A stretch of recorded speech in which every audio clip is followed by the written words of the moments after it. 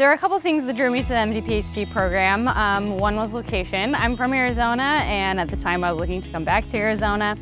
Then the other factors were more academic. Um, I really enjoyed neuroscience. I'd done neuroscience research in my background and I thought that there were great neuroscience research opportunities here, um, kind of in a variety of fields, so it provided me a good uh, place to get involved with research. There are kind of two things I was looking for in a program.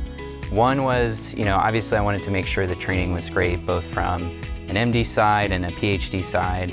Um, but also, when you're doing an MD PhD program, you commit anywhere from seven to 10 years living in one location.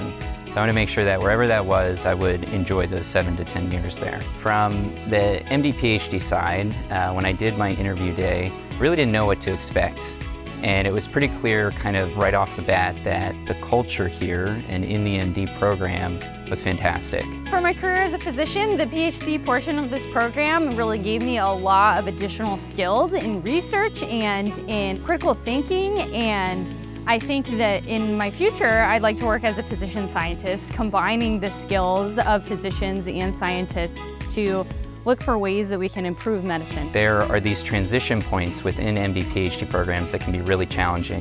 But what I found pretty early on is that the thought processes, my ability to solve problems, to do research, really helped me uh, in my ability to succeed on my clinical rotations.